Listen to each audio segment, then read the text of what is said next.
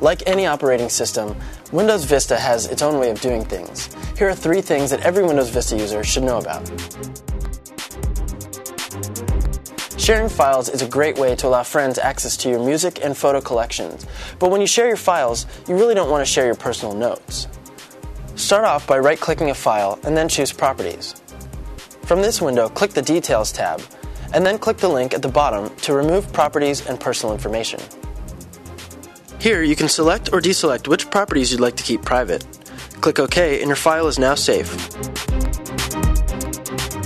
In XP, System Restore fixes OS problems, but won't do squat if you accidentally save a file rather than quitting. Here's a quick way to retrieve an earlier version of a file. Windows Vista creates shadow copies of your files daily.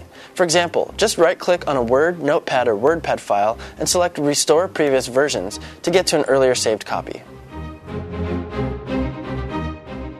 Finally, if you want to improve system performance, adding memory is usually the answer. But if you don't have the extra money lying around, there is another solution Windows ReadyBoost.